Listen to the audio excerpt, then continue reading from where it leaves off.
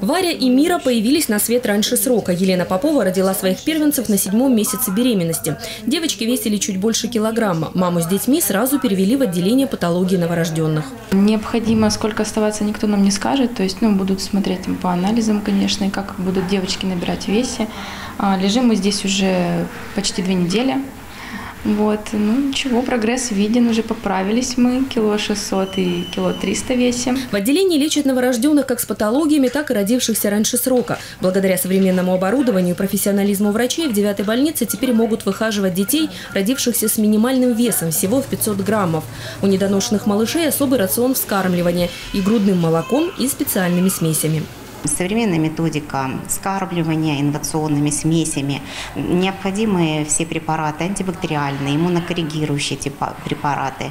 Э, эти дети выхаживаются, то есть если раньше стоял вопрос жизни таких детей, то сейчас э, стоит вопрос уже качества выхаживания таких детей. В последние годы медицина Сочи вышла на принципиально новый уровень. С помощью врачей мамами теперь становятся и женщины, страдающие сахарным диабетом или пороком сердца. Врач-неонатолог Эльвира Борисовна Борисова говорит, раньше с такими заболеваниями и мечтать о рождении ребенка было нельзя. Но сегодня в 9 городской больнице таким беременным оказывают всю необходимую помощь. А скоро в Сочи появится еще один современный перинатальный центр.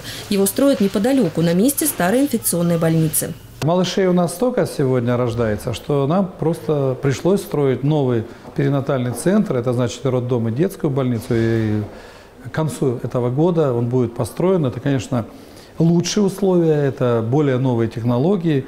И, конечно, уверен в том, что э, перинатальный центр – это еще шаг вперед. После открытия нового центра старый продолжит работу. Уже известно, что туда из второй горбольницы переведут гинекологическое отделение. Таким образом, все медицинские службы, оказывающие помощь женщинам и новорожденным, будут сосредоточены в одном месте. Так удобнее и врачам, и пациентам. Галина Моисеева, телекомпания ВКТ.